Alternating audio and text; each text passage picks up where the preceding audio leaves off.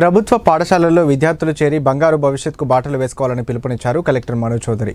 సిద్దిపేట జిల్లా బెజ్జంకి మండలంలో పోతారం గ్రామంలో ప్రాథమిక పాఠశాలను సందర్శించారు.